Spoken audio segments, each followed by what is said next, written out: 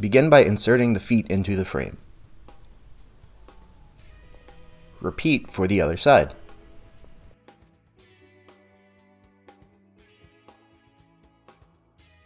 Insert the next tier of the frame as shown.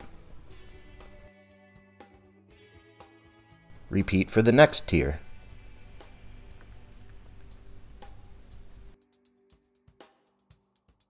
And again for the top of the frame.